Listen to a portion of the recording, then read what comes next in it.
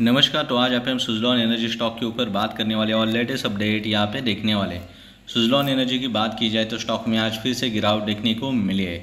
Selling pressure जो है, आज फिर से देखने को मिला है स्टॉक के अंदर। फिर से एक बार 70 के करीबन आके सपोर्ट लेता हुआ दिखाई दे रहा है। अगर यहाँ पे आप देख सकते कि सेवेंटी लेवल को ब्रेकडाउन करेगा तो और नीचे की तरफ़ जाने के चांसेस बढ़ सकते हैं सुजलॉन एनर्जी के अंदर। पर यहाँ पे आप देख सकते हैं कि स्टॉक में कोई खास अपडेट या न्यूज़ भी नज़र नहीं आ रहे।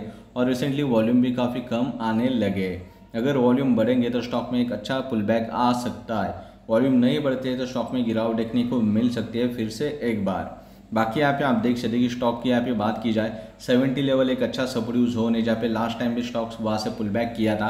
अगर 70 को ब्रेकडाउन मिलेगा तो और नीचे की तरफ़ गिरावट देखने को मिल सकती है सुजलॉन एनर्जी के अंदर। बाकी यहाँ पे आप देख सकते कि थोड़े वॉल्यूम बढ़ेगी तो डिमांड बढ़ेगी और उस स्टॉक में अंदर एक तेज़ी आ सकती है।